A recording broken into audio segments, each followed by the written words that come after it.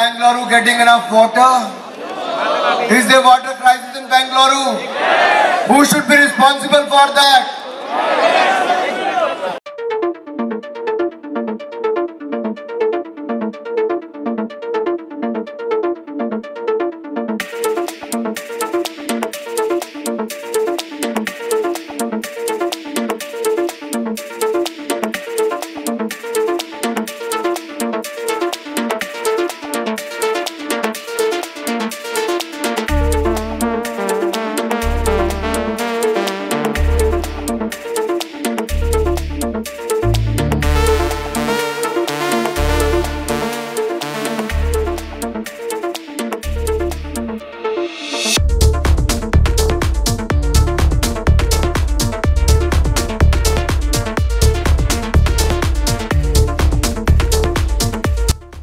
Commission ರಾಜ್ಯ ಸರ್ಕಾರಕ್ಕೆ ಐದು ಸಾವಿರದ ನಾನೂರು ಕೋಟಿ ರೂಪಾಯಿಯ ಸ್ಪೆಷಲ್ ಗ್ರಾಂಟ್ ಅನ್ನು ಕೊಡಿ ಅನ್ನುವಂತ ಶಿಫಾರಸ್ ಮಾಡಿದ್ರು.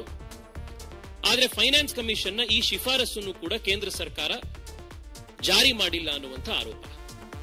ಕೇಂದ್ರ ಸರ್ಕಾರ ಫೈನಾನ್ಸ್ ಕಮಿಷನ್ ಮಾಡುವಂತ ರೆಕಮೆಂಡೇಶನ್ನಿಂದ ತಪ್ಪಿಸ್ಕೊಳ್ಳಿಕ್ ಸಾಧ್ಯವೇ ಆಗೋದಿಲ್ಲ. ಫೈನಾನ್ಸ್ ಕಮಿಷನ್ನ ಫೈನಲ್ ರಿಪೋರ್ಟ್ನಲ್ಲಿ ರಾಜ್ಯಕ್ಕೆ ಐದು ಸಾವಿರದ ನಾನೂರ ಕೋಟಿ ರೂಪಾಯಿ ಸ್ಪೆಷಲ್ ಗ್ರಾಂಟ್ ಅನ್ನ ಕೊಡಬೇಕು ಅನ್ನುವಂತ ಯಾವುದೇ ಶಿಫಾರಸು ಫೈನಾನ್ಸ್ ಕಮಿಷನ್ನ ಫೈನಲ್ ರಿಪೋರ್ಟ್ನಲ್ಲಿ ಆಗಿಲ್ಲ.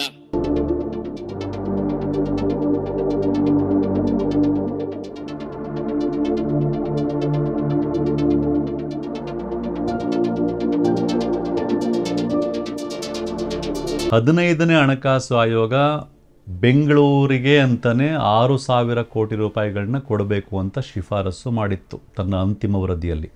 ಯಾಕೆ ಆರು ಸಾವಿರ ಕೋಟಿ ರೂಪಾಯಿ ಕೊಡಬೇಕು ಅಂತ ಹೇಳಿತ್ತು ಅಂತಂದರೆ, ಇದರಲ್ಲಿ ಮೂರು ಸಾವಿರ ಕೋಟಿ ರೂಪಾಯಿಗಳು ಬೆಂಗಳೂರು ನಗರದ ಪೆರಿಫೆರಲ್ ರಿಂಗ್ ರಸ್ತೆಯ ಅಭಿವೃದ್ಧಿಗೋಸ್ಕರ, ಇನ್ನು ಮೂರು ಸಾವಿರ ಕೋಟಿ ರೂಪಾಯಿಗಳನ್ನ ಬೆಂಗಳೂರು ನಗರದ ಜಲಮೂಲಗಳ ಅಭಿವೃದ್ಧಿಗೆ ಹದಿನೈದನೇ ಹಣಕಾಸು ಆಯೋಗ ತನ್ನ ಅಂತಿಮ ವರದಿಯಲ್ಲಿ ಶಿಫಾರಸು ಮಾಡಿತ್ತು. ತಾವು ತೆಗೆದು ನೋಡಬಹುದು. ಅಂತಿಮ ವರದಿಯ ಪೇಜ್ ನಂಬರ್ ಮುನ್ನೂರ ಇಪ್ಪತ್ತೈದು ಆ ಹಣವನ್ನು ಬಿಡುಗಡೆ ಮಾಡಿದ್ದಿದ್ರೆ ಆ ಮೂರು ಸಾವಿರ ಕೋಟಿ ರೂಪಾಯಿಗಳನ್ನ ಬೆಂಗಳೂರು ನಗರದ ಜಲಮೂಲಗಳ ಅಭಿವೃದ್ಧಿಗೆ ಬಳಸಿದ್ದಿದ್ರೆ ಇವತ್ತೇನು ಬೆಂಗಳೂರು ನೀರಿನ ಕೊರತೆ ಎದುರಿಸ್ತಾ ಇದೆ ಅಂತ ಹೇಳಿದಿರಲ್ಲ, ಆ ನೀರಿನ ಕೊರತೆಯ ಪ್ರಾಬ್ಲಮ್ಮು ಒಂದು ಮಟ್ಟಕ್ಕಾದರೂ ಸಾಲ್ವ್ ಆಗಿರ್ತಿತ್ತು, ಪರಿಹಾರ ಆಗಿರ್ತಿತ್ತು.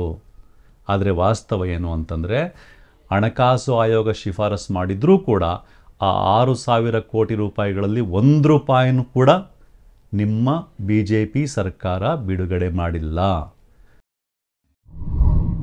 ಮತ್ತಷ್ಟು ವಿಶೇಷ ವಿಡಿಯೋಗಳನ್ನು ನೋಡಲು ಮತ್ತು ಹೊಸ ವಿಡಿಯೋಗಳ ಬಗ್ಗೆ ತಿಳಿಯಲು Ee Dina dot com YouTube channel subscribe ಮಾಡಿ ಮತ್ತು ಬೆಲ್ ಐಕಾನ್ ಕ್ಲಿಕ್ ಮಾಡಿ.